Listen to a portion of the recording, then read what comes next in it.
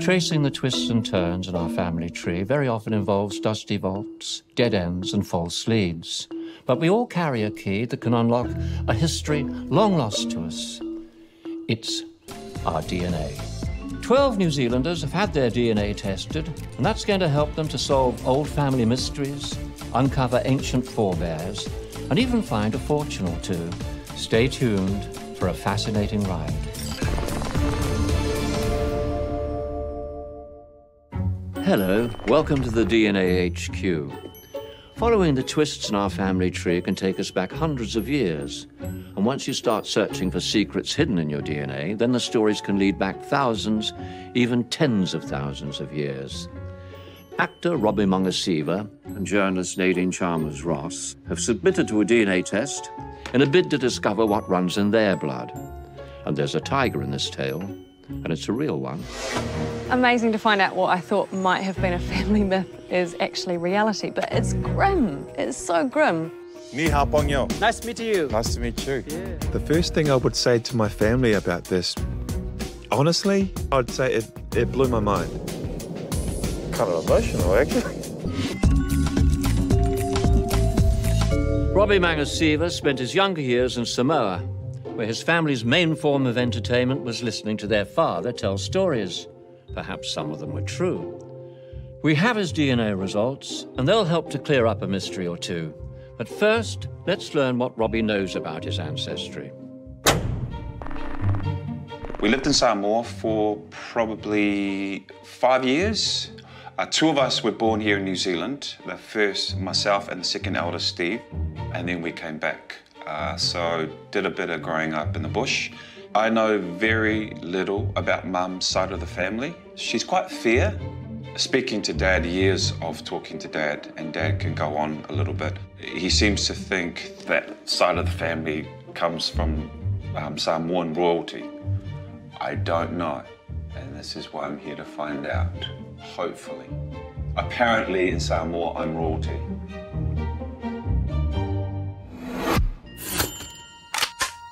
It's Robbie. Hello. Hi, welcome. Richard. Welcome, welcome, welcome. Sit down. pleasure. Welcome to the a more gentle interrogation room than you'd find on Wentworth.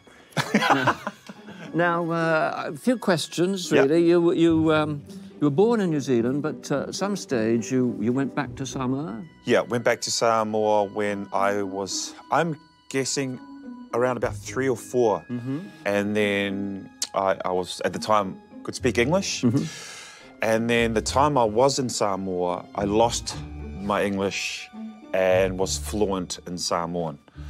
And then when I came back in 82, I had to relearn English again. But um, yeah, time in Samoa, what I can remember of it was very simple. I know there's one issue Yeah. that you're interested in. There's uh, that you have some questions about your mother's ancestry that you'd like to be resolved. Yeah, because there's some of us that mum is quite fair, um, you know, compared to dad. Dad's a lot darker than mum is.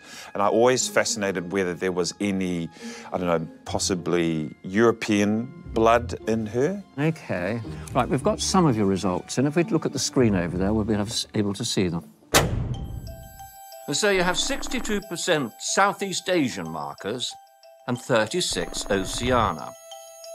Here's one thing that's very interesting. You are the very first person that we've ever had with 0% European DNA. So that means your mother most certainly doesn't have any German or European ancestry whatsoever. No way, not possible. Yes! Yes.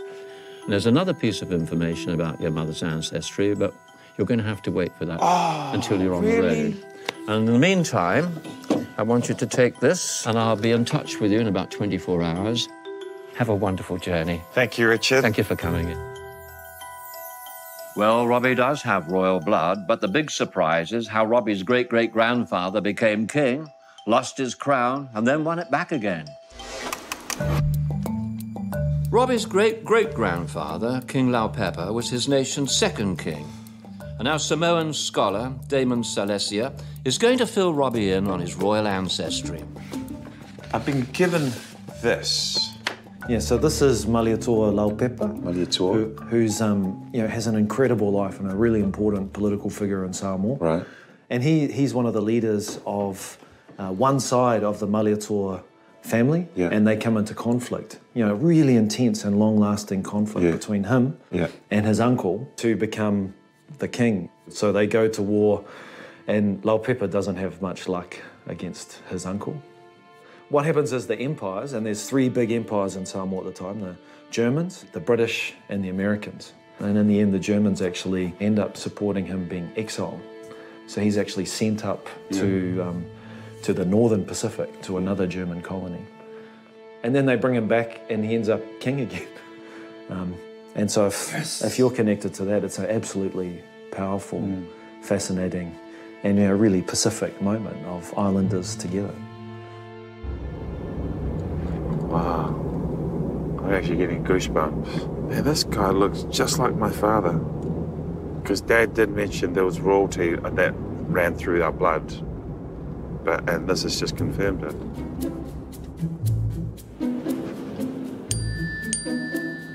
Robbie, King Laupepa's time in exile involved many, many months sailing with the Germans, and that seems to have spread his DNA about a bit. Now you're going to meet your third cousin, George, in rural Seattle. Wow. All right. Seattle. Cool.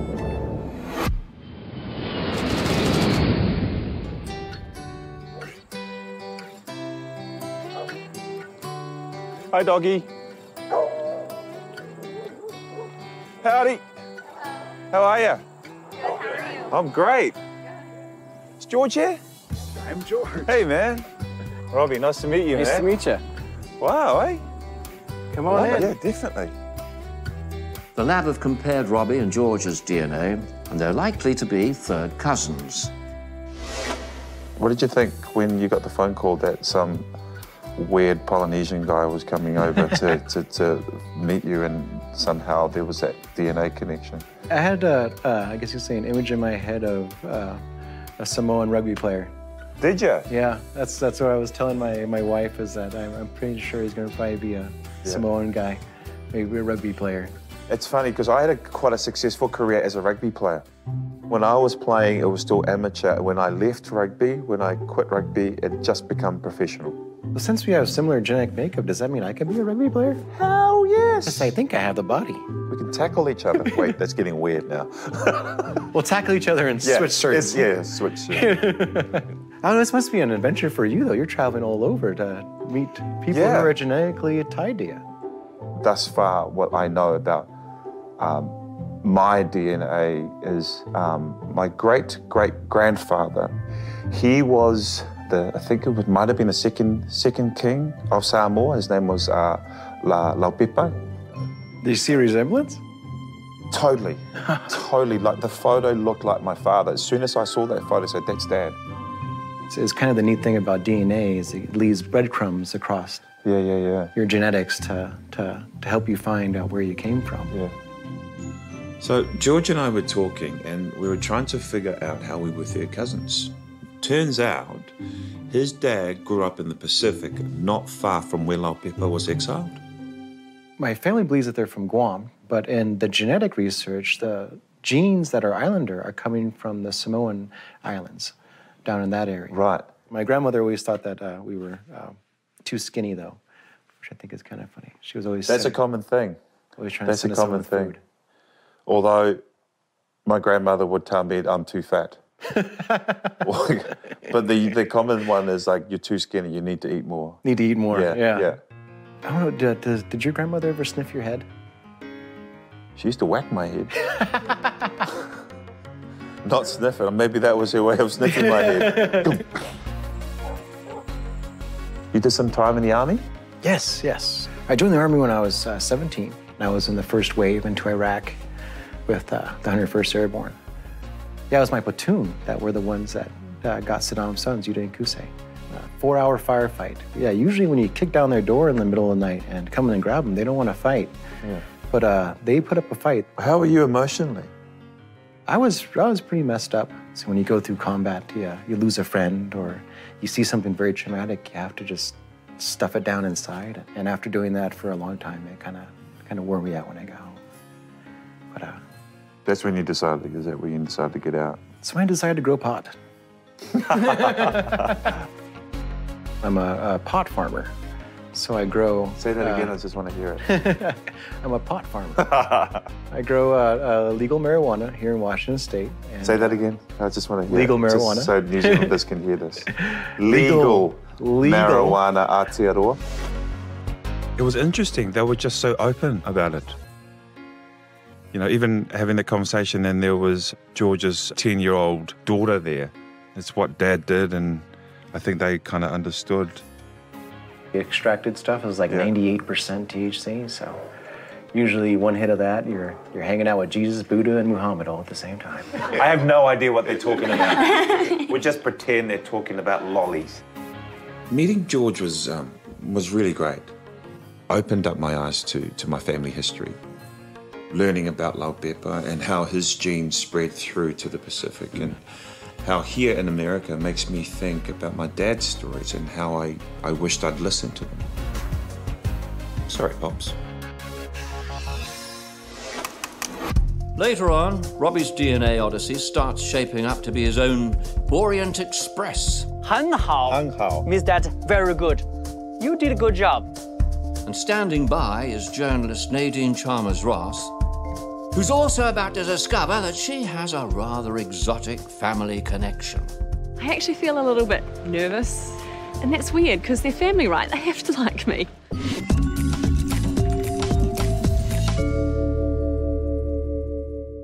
Hello, good to have you back.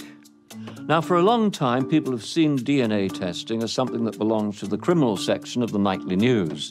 But taking a test, a simple teaspoon of saliva, is all it takes to unlock all kinds of information about our ancestors and the lands that they came from.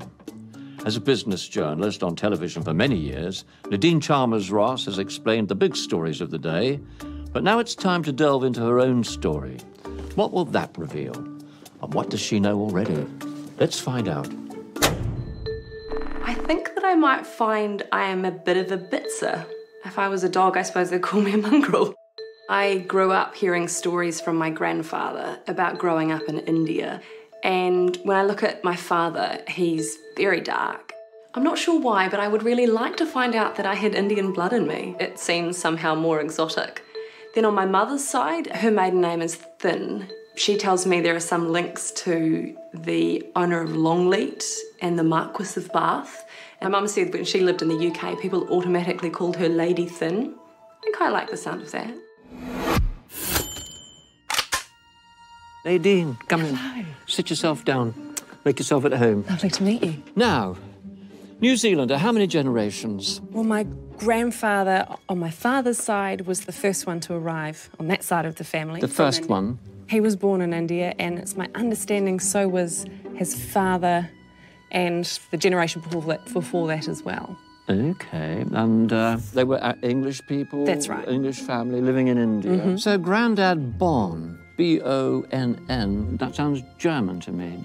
Well, it was a nickname. His name was Herbert, but he was the youngest of three boys, and his mother always called him her Bonnie baby. And it stuck. He was Bonn for the rest of his life. Oh, okay. Well, uh, there's there's a story about Grandad Bonn, isn't there, that, that he used to tell about a pussycat. a rather large pussycat. Uh, he used to tell me the story of a tiger that killed his grandfather, so my great grandfather. How extraordinary. Yeah, and I don't know much more about the story than that, but I've always been told it. Now, you want to know more about your, your, your, your background and, and, the, and, the, and the various strains of your family from where they've come, and we're going to look at some of the results we've got over here on the screen. Right, the map shows that 95% are European. Most of that's from the UK and, and Ireland, but there are traces of Scandinavian, French, and German, and a minuscule amount of Ashkenazi Jewish markers. Now, you were hoping to find uh, an Indian connection. We can see that you've got 5% South Asian markers. Uh, so, given your family history, we are fairly confident that this represents your Indian connection and family. so it's true. Now, that doesn't mean to say that the tiger story is true, but it, you know, it could be. I'm going to give you this little device here, which I want you to keep about your person. and I shall be in touch within the next 24 hours to give you further instructions. In the meantime, bon voyage. Thank you so much for coming in. Thank you, Richard. Now, mind the door, it sticks a bit on your way out. Well, you'll, you'll, you'll manage, I'm sure. Oh, there we go. Um, well, Nadine has a, a great reputation as a news hound, but she's also sitting on an epic tale which is about to get her the scoop of her life.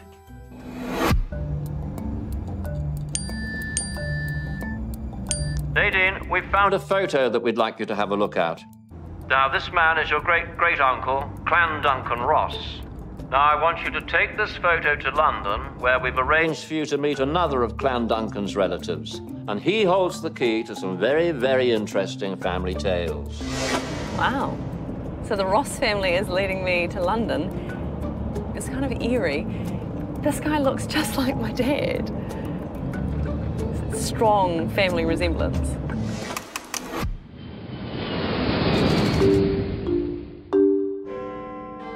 No time for sightseeing, Nadine.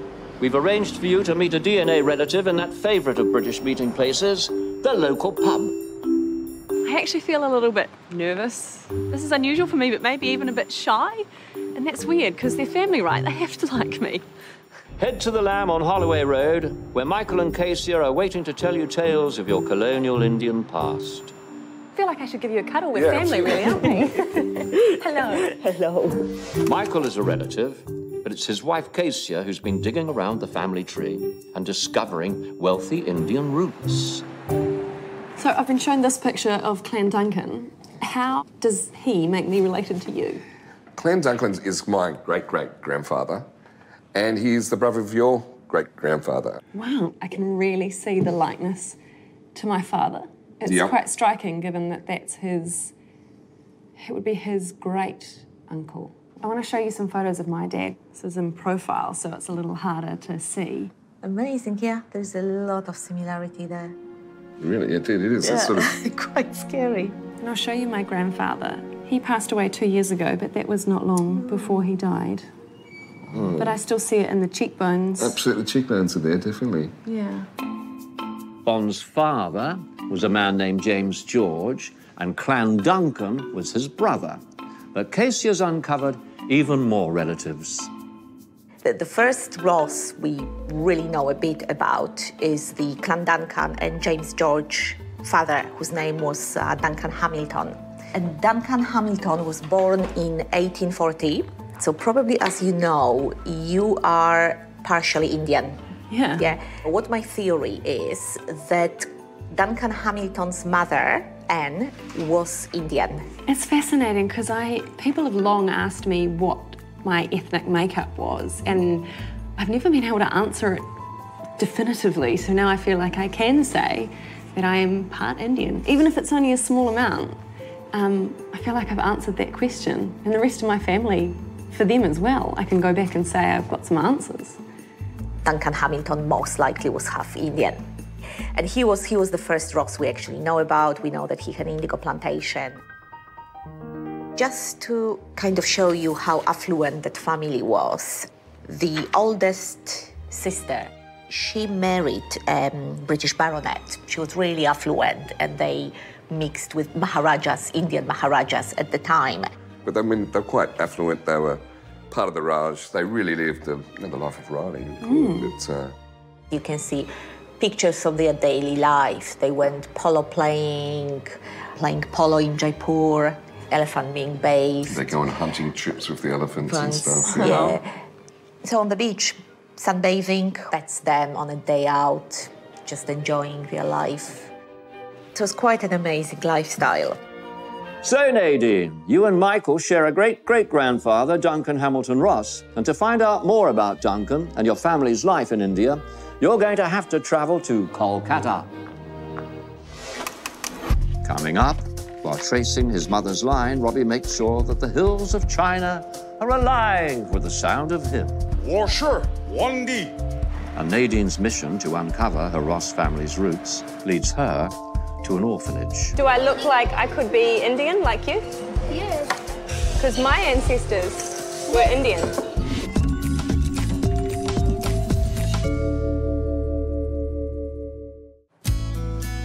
Actor Robbie Magasiva has discovered royalty runs in his blood.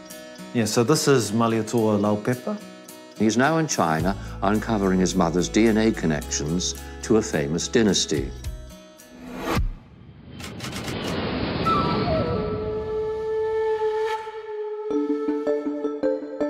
Can't believe I'm in China. What part of me is Chinese? Probably explains why I like Chinese food. Hello, good morning, Robbie. 1% of your DNA shows Chinese markers. Your test reveals that your mother's haplogroup has links to the Han Dynasty, and you're about to get a cultural crash course from John in an ancient Han village.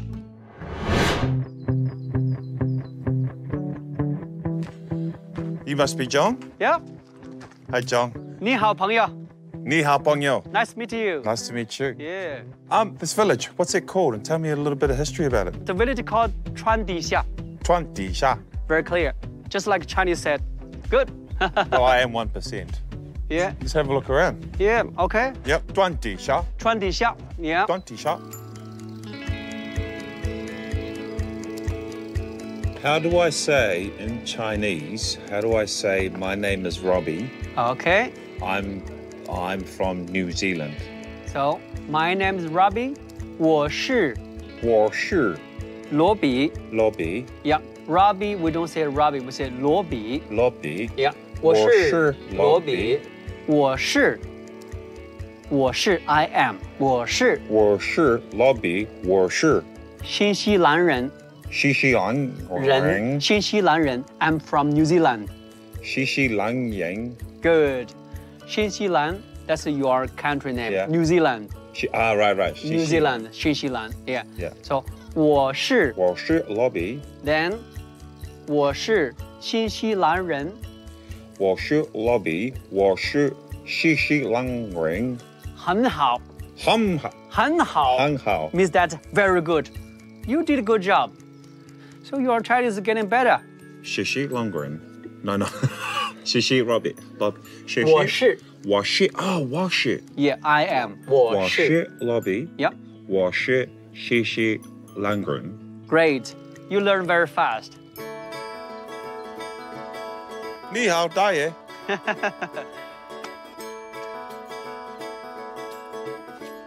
John, can you tell me a little bit more about the Han Dynasty? Han family was here around 700 years. Yeah. And so this family came here long time and they keep to continue the family. So now a lot of Han family here. There's no way in the world that I'll ever have come or stepped foot on those paths if it wasn't for this. And to discover that, you know, um, that my DNA was from the Han Dynasty, um, and then that 1% Chinese that I have in me, it's quite awesome. I kind of like that. 我是皇帝。 Great. Yeah. You did great. 我是皇帝. I'm the emperor. Uh, Robbie, this 600 year old village requires a lot of manpower to keep it in shape, so you've hit town at the right time because there's a restoration project underway that could really do with a big, strapping lad like yourself. Hey! What I'm doing here is attacking a 600 year old building. Just for your information, New Zealand. 600. Although this bit here doesn't seem like a 600, this is this looks like it's uh, a recent thing. I can tell by the texture. See that? Now, if it was more than 600, I'd say probably 40 years ago that was put in there. Sheshe. But mate, those workers, their faces were amazing. Just the contours, the lines, just from being out in the sun every day. Because their faces told a story. You know? As corny as that may sound, you could tell those guys worked their asses off. And they were really friendly. journalist Nadine Chalmers Ross has had her suspicions about her Indian heritage confirmed. People have long asked me what my ethnic makeup was, so now I feel like I can say that I am part Indian. Our research has proved that Nadine's great great grandfather's mother was Indian and a native of Kolkata.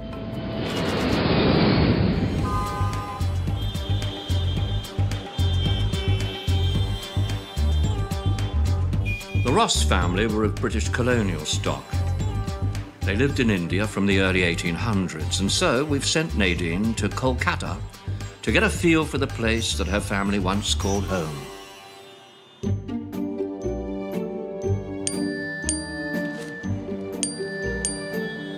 Namaste, Nadine. We've discovered that your great great grandfather, Duncan Hamilton Ross, took a young bride from an orphanage. Her name was Addie. You might like to take a peek at their marriage certificate. So, the 21st of May 1860, Duncan Hamilton Ross marries Annie Victoria Wilkinson. Has Duncan Hamilton Ross at 19, listed as a bachelor, Annie Wilkinson 14. One thing that doesn't seem clear to me is why Duncan Hamilton Ross goes sort of shopping for a bride at an orphanage.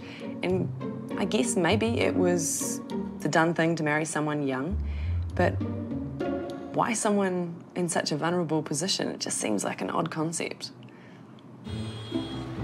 Nadine, it's fair to question how your great great grandfather found his bride, but this type of match wasn't uncommon in the times of the Raj.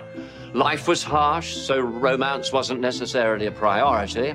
And when Duncan did find Annie, he made a wonderful gesture of adopting her younger sister Mary so that they could stay together. And we've arranged for you to visit an orphanage to gain some perspective on Annie and Mary's early life.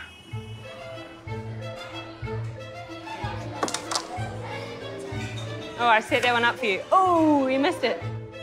From what I've read, the conditions around the time that Mary and Annie would have been in the orphanage were awful. I don't think you can understate how hard life would have been. Do I look like I could be Indian like you? Yes. Because my ancestors were Indian and they lived in Calcutta. I think that there would have been an intense feeling of being forgotten. So my great great grandma used to be in a school like this one. So I came to see what it was like. How long have you been here? About three years. Three years? Yeah. Watching these kids, it just makes you think how young Annie and Mary must have been. So, so young. But also that they must have been fighters. And I guess that's the thing is the women in my history, they were made of tough stuff.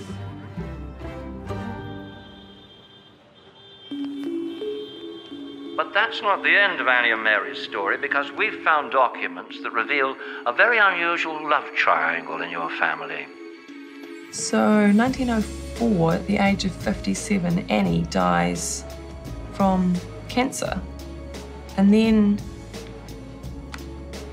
later, the same year, Duncan marries her younger sister, Mary. Isn't that odd? Well, what actually sounds like a scandal is, in fact, a very complicated love story. Annie was a minx who ran off with possibly a wealthier man and left Mary to raise her infant son. Mary and Duncan went on to fall in love, and although they couldn't marry until Annie's death, they managed to have eight children together. Oh, yes. One of whom was your great great grandfather, James George Ross. This is not the kind of stuff I was expecting to find. I thought that I'd find ancestors, but not the kind of twists and turns that their lives took. It is a bit dramatic, and there's also a lot of heartbreak, which I, I guess I wasn't really expecting to find. Coming up, Robbie helps to cook a feast using stones, and Nadine finds her great great grandmother's life in India started rough, but ended up in the lap of luxury. So, my ancestors would have had a grand house and lots of domestic help. Yes.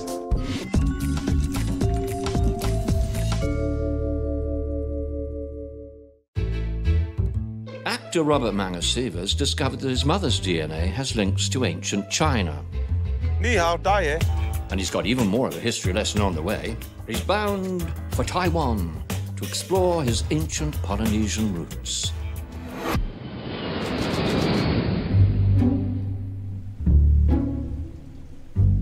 Well, Robbie, as you know, DNA evidence has proved beyond any doubt that Polynesian migration through all the Pacific Islands originated in the East. And it's time for you to get a taste of Taiwanese life so that you can see how similar these cultures are. Can you just ask if it's okay if I get in there and wash the watercress? I can wash the fish for her. I'm just going to wash the watercress, yeah. Traditional way the Taiwanese cooked, it reminded me more of, of um, doing a umu than anything else. I'll do it for you. This is how we do it back home. So you just want to evenly spread your fingers through the watercress like this. Just got to taste it, see if it's clean. No, it needs a little bit more. There we go.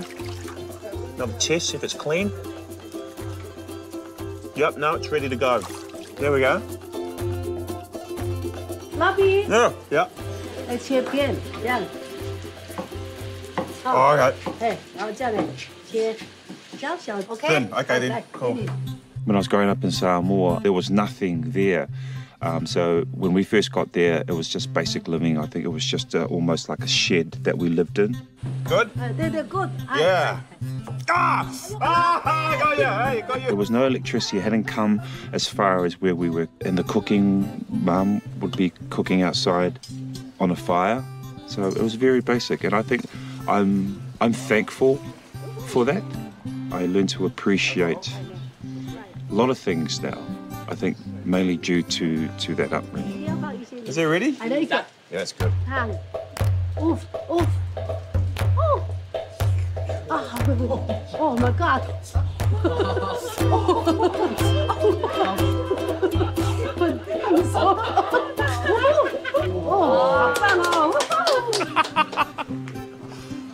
that is nice. That is awesome.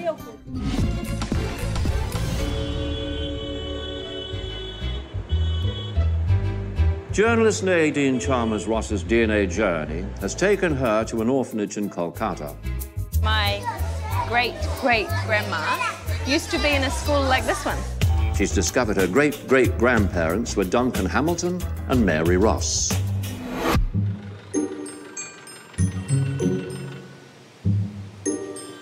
Duncan Hamilton looks like quite the refined English gentleman, really.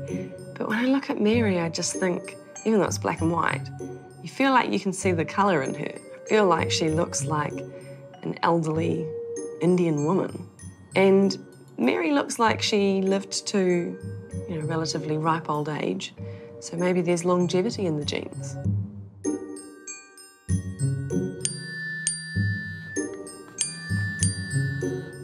Good morning, Nadine. Your great great grandmother Mary had a rough start growing up in an orphanage, but she and her husband built an empire and lived lavishly.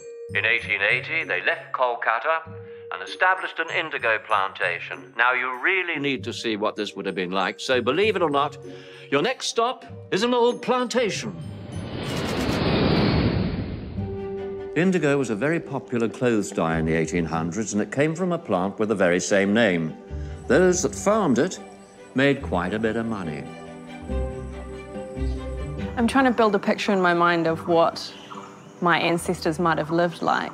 Is it reasonable to think that, you know, a grand place like this would have been how they lived? Absolutely. They lived fairly lavish lives. So my ancestors who were indigo plantation owners would have had a grand house and lots of domestic help, that sort of thing. Yes. In fact, at the southern end, the southwestern end of this property was a tennis court, and each uh, child would have an ayah. So like a governess or a yes, nanny or something. nanny, like a nanny. Yes, they would have people who you know served food, so they would wear a turban and uh, a towel on their arm. So very formal. Yes, very formal affair, very formal. This is Indigofera tinctoria, the plant that actually made the British rich. And it eventually got known as the Devil's dye. The laborers, the peasants, the farmers, they were forced to grow indigo. Did They- that make them angry? It eventually got them angry because that's what they, uh, you, you, you just can't eat indigo. So uh, the peasants actually revolted in many ways. They had uh, the stick, and they had axes, they had machetes, they had spears, and quite a few British were actually killed. I believe your great great grandmother even learned how to use a gun, and you know to protect herself. It's amazing to look at it. It's just this pretty little ferny, you know, flower that it caused such ructions. That's right. That's right. Can you believe that this little plant could create such opulence as well as create such hatred in a matter of about 100 years? So had it not been for that, I could have been an heiress. You could have been. what a shame. and had I been younger, I would have met you. The English living opulent lives while their workers were peasants and paupers troubles me a little bit. I wonder if they were aware that they had Indian blood in them. And I wonder if they treated the Indians any better as a result. I'd like to think so.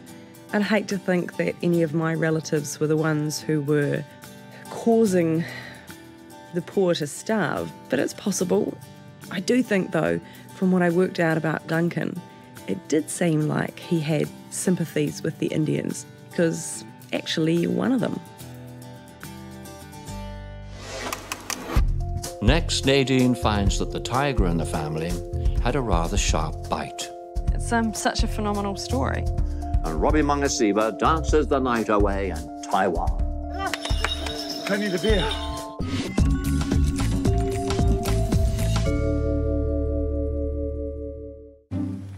Journalist Nadine Chalmers Ross is in Bengal, where she's learned her family were once wealthy plantation owners. And she's also about to learn the truth about her family's story. Hello, Nadine. Your grandfather Bonn has regaled you with stories of a death by tiger in the family. Now, what exactly can you recall of that very tall tale? I have heard a story about a tiger. I don't know how much of it is true, but I was told that my great great grandfather was killed by a tiger. But I don't know much more than that. Well, we have uncovered some gritty details. Your grandfather Bonn was, in fact, talking about his grandfather Walter, who also lived in India. Now, Walter had a reputation as a skilled hunter. And when a tiger was making mischief in a neighboring village, Walter was called upon to remedy the situation. Walter and his men stalked the tiger for 11 miles, and once they were within range, Walter took his shot. He only wounded the beast, and he followed the blood trail to discover the animal concealed in the undergrowth. And as Walter approached, the wounded tiger leapt at him, clawing him in the back of the head. Walter continued to battle the beast, and the tiger was shot dead.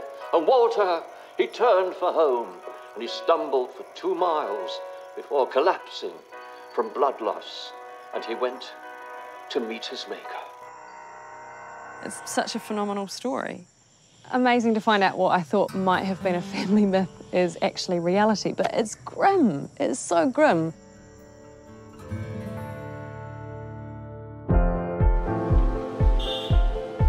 I decided to get my DNA tested purely because I was curious. And I've been told so many stories over the years that I wasn't really sure which of them were true and which might have been embellished or changed through the generations, like Chinese whispers. And I thought, the science can't lie, right? And I wanted to answer that question that I've always wondered about do I have Indian blood in me? And my granddad's not around to answer a lot of the questions that I had anymore. And no one else seemed to know the answers. So coming here to India, seeing some of the things he would have seen, made me feel quite connected to him. And I think he would have liked that I was curious to find out where he came from and where I come from.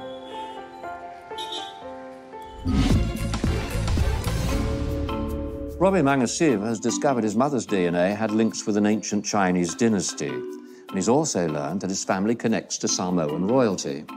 But that's the end of the royal tour, because now he's in Taiwan looking into the links that Polynesians have with the East. Uh, James. Yeah, I'm James. Oh, g'day, James. Hi, nice to meet you. Nice to meet you, man. I'm Robbie. Robbie. Nice Hi, to meet James. you. Thanks Nice for having you. me. Nice to meet you. And this is 14. Hi, 14. 14. Hey, how are you? The The host. host. Nice to meet you, Robbie. It's not the number 14? No, no, no. It means in Amis language, it means fish. Ah. Yeah, so Fish, 14 yeah. is fish. Is he a good Yeah. fisherman? Yeah, he's good at fishing. Right. Thank you for uh, inviting me.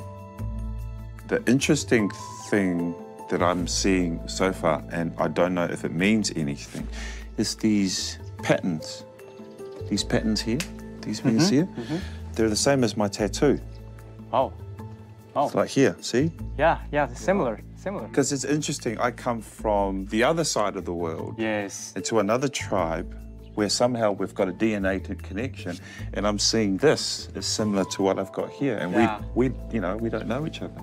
譬如说像那个数字，数字的话，只在、多少、多六、十八。 Is he Yeah, lima, yeah, yeah, he's counting numbers.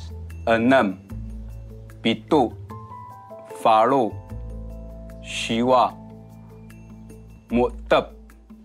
This is in Samoan. Tasi, lua, tolu, fa, lima, ono, fitu, valu, iva, sefulu. The similarity, eh?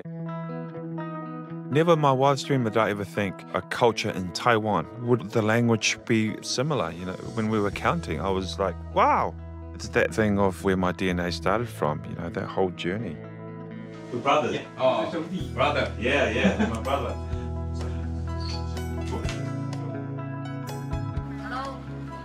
Hi. How are you? Good? Hi. Good. Bye. To summarize this um, trip, I'd say it's been an, an eye opener.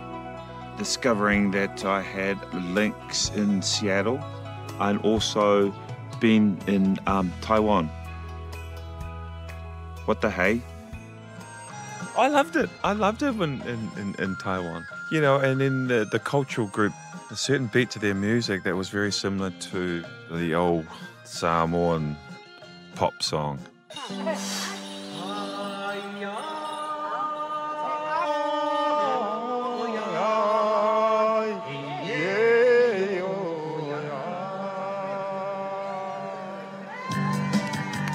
It's funny because as soon as I saw it, because I know that beat. I know that. It reminded me also of the uncles and aunties after a few drinks. You know, no means yes. And just dragging you up there and just going for it. It was very similar. The first thing I would say to my family about this, honestly, without going too much into it, I'd say it, it blew my mind. I found out um, a lot more about my history and my my DNA and my my family than I ever have. I've absolutely loved it, um, and I've still got more to find out, and I'm excited about um, new discovery. But it's been amazing, absolutely amazing. Our DNA contains tiny hints that tell us how our forebears travelled. It shows us where to look to uncover traces of their lives and the stories we find to help bring them back to life. I wonder who's going to be brave enough to take the test next week. Why don't you join me to find out?